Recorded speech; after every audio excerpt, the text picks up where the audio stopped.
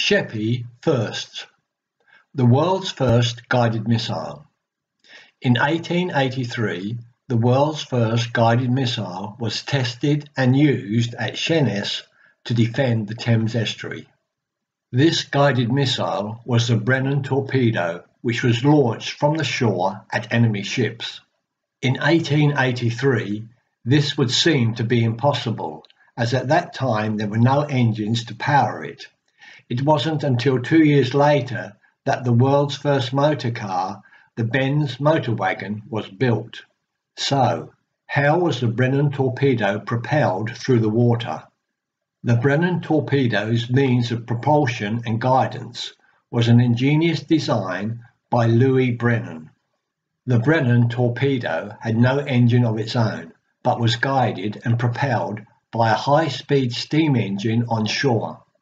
Inside the torpedo were two drums, each with several miles of steel wire coiled around them.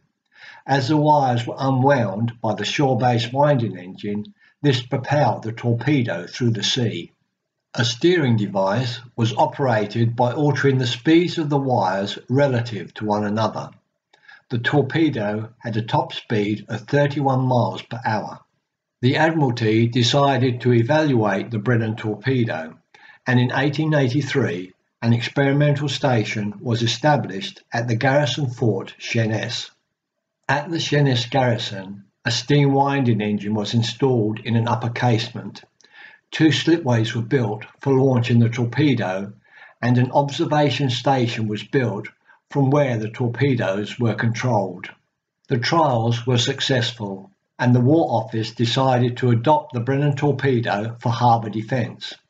In 1884, the experimental station at Sheerness became the training school for instructing officers and men in the use of Brennan torpedoes.